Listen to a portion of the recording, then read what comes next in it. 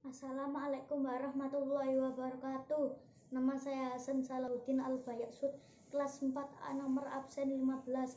Saya akan membacakan puisi tentang pahlawan wanita kebanggaanku. Pahlawan wanita kebanggaanku. Karya Hasan. Dari tanah rencong dia berasal.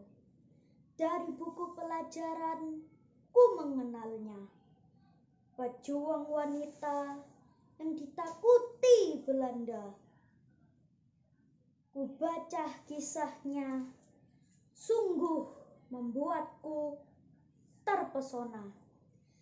Atas perjuangan dan keberaniannya jatuh. Bangun perjuangannya telah dilaluinya. Tak ada kata takut apalagi putus asa. Cut Din namanya. Dari Aceh dia berasal.